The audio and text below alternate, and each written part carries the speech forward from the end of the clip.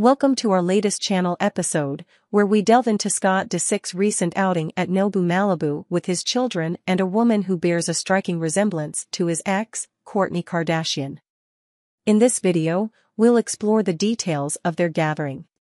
Scott Disick, the father of Mason, Penelope, and Reign with Kardashian, showcased a stylish look with a black flight bomber jacket, an olive top, fern green satin cargo pants, and off-white sneakers with light orange details. Seated in a black Cadillac SUV, he was accompanied by the Kourtney lookalike, sporting hoop earrings. The group included Penelope and Reign, with the presence of Mason not immediately confirmed. This outing follows a previous appearance with the same woman at Nobu on November 17. The repeated visits to the high-end Japanese restaurant coincide with Kourtney's recent childbirth with husband Travis Barker. Before we continue, please subscribe to our channel and hit the bell icon for updates.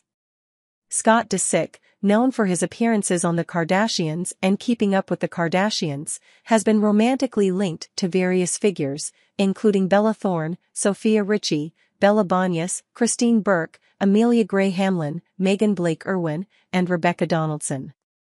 Kourtney, discussing her son Mason's desire for normalcy, shared in a podcast that he avoids social media and prefers a life away from the spotlight.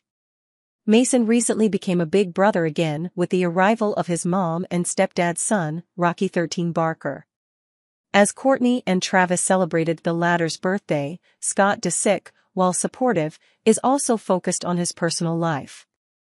Kourtney expressed her love for Travis in a heartfelt birthday message. Thank you for watching and investing your time with us. If you enjoyed this video, please like and share it with your friends.